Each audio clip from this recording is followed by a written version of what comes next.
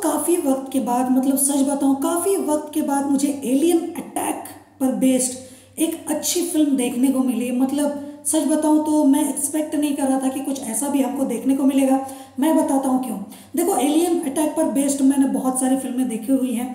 पर अभी देखा जाए तो जिस लेवल की फ़िल्में हमें देखने को मिल रही है ना जिस तरीके की स्टोरी पर बेस्ड हमें मूवीज़ देखने को मिल रही हैं, वो इतनी ज़्यादा घिसी पिटी और बेकार और बकवास सी होती है ना। मतलब वही रिपीटेटिव स्टोरी वही सारी चीज़ें घिसी पिटी हमको देखने को मिलती हैं। जिस वजह से मूवी को देखने में वो मज़ा नहीं आता है और वो फ़िल्में उस लेवल की इंटरेस्टिंग होती भी नहीं है कि मैं आपको रिकमेंड कर पाऊँ या फिर मैं खुद बोलूँ कि हाँ फ़िल्म अच्छी है, आपको ज़रूर देखना चाहिए।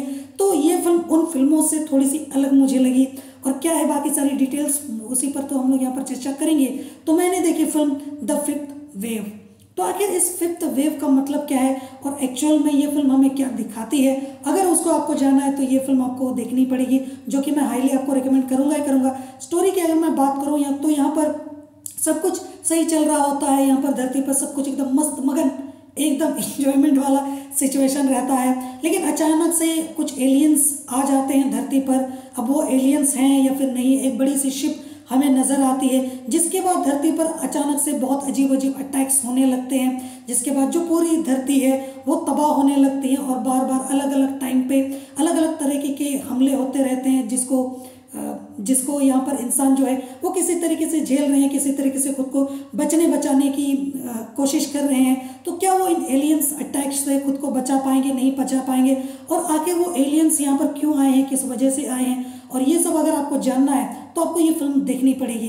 तो यहाँ पर एक कैरेक्टर पर है, पूरी फ़िल्म को फोकस किया गया है कि उसकी, उसी के मतलब नज़रिए से हमें ये फ़िल्म दिखाई गई है कि अभी क्या सिचुएशन सिचुएशंस चल रही हैं, किस तरीके से क्या क्या हो रहा है, और वो खुद किस तरीके से बचा पा रहे हैं, नहीं बचा पा रहे हैं क्या क्या सारी सिचुएशंस हैं, उसको हमें इस मूवी में दिखाया गया जो कि मैं यहाँ पर इसको नेगेटिव नहीं बोलूँगा, क्योंकि इस तरह तरह की फ़िल्मों में क्या होता है ना कि अगर सभी चीज़ों पर, सभी कैरेक्टर्स पर और सभी सिचुएशंस जो भी चीज़ें चल रही हैं, उस पर अगर फोकस ना किया जाए ना तो मूवी को देखने का ना मज़ा ख़राब हो जाता है, सच बताऊँ। पर यहाँ पर एक कैरेक्टर पर पूरी फोकस करने के बाद भी ये जो फ़िल्म है, काफ़ी अच्छा और तगड़ा पकड़ बना कर रखती है, जो कि मुझे काफ़ी ज़्यादा पसंद आया है।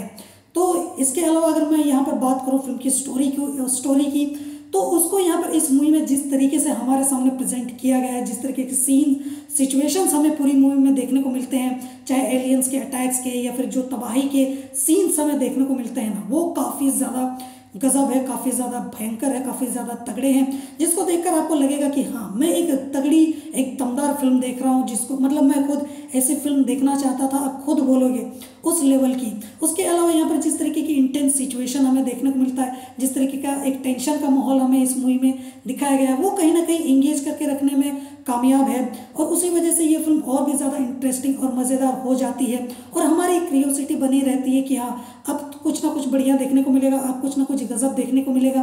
और ये फ़िल्म वाकई में हर बार हमें सरप्राइज़ करती है। हालाँकि जो इस टाइप की फ़िल्में ज़्यादा देख चुके हैं, या फिर रेगुलर बेसिस पे देखते ही देखते रहते हैं तो यहाँ पर सरप्राइजिंग तो कुछ नहीं होगा, पर हाँ फ़िल्म उनको बाँध के रखेगी, इस बात की गारंटी मैं ज़रूर दे सकता हूँ। इतनी तगड़ी तो ये फ़िल्म ज़रूर है। और यहाँ पर ये जो फ़िल्म है, वाकई में एक काफ़ी अच्छी एंटरटेनिंग मूवी है जिसको मैं बोल सकता हूँ। और मुझे लगता है कि ये जो फ़िल्म है ना, जो इस टाइप की फ़िल्में ज़्यादा देखते हैं या फिर नहीं भी देखते हैं तो मुझे लगता है कि एक तगड़ी साईफाई एडवेंचर मूवी है, जिसको मुझे लगता है कि आपको ज़रूर देखना चाहिए। और इस फ़िल्म को आप सबके साथ बैठ कर देख भी सकते हो इन्जॉय भी कर सकते हो। हालाँकि थोड़े मोड़े अडल्ट सीन्स हैं मतलब किसिंग वगैरह के सीन्स हैं। अगर आप उसको मैनेज कर सकते हो या फिर उसके साथ आप कंफर्टेबल हो तो बस देख लो जिसके मर्ज साथ मर्ज़ी देखना हो। बाकी फ़िल्म मुझे पसंद आई फ़िल्म मुझे तगड़ी लगी। देखा जाए तो मतलब इस तरीके की स्टोरी पर बेस्ड जितनी भी सारी मैंने फ़िल्में देखी हुई हैं, उन सभी फ़िल्मों से तो ये फ़िल्म मुझे लाख गुना ज़्यादा अच्छी लगी है एंटरटेनमेंट के मामले में। तो उस वजह से मुझे लगता है कि आपको ये फ़िल्म ज़रूर देखना चाहिए, ये फ़िल्म आपको अच्छा खासा एंटरटेन करेगी। मतलब मेरे एक्सपीरियंस से फ़िल्म मुझे पसंद आई और मुझे लगता है कि आपको भी ये फ़िल्म ज़रूर पसंद आएगी। बाकी पेशेंस बना कर देखना फ़िल्म आपको अच्छा खासा एंटरटेन ज़रूर करेगी। मैं ये फ़िल्म आपको खुद रिकमेंड करता हूँ। अब देखना मूवी को, मज़ा ज़रूर आएगा।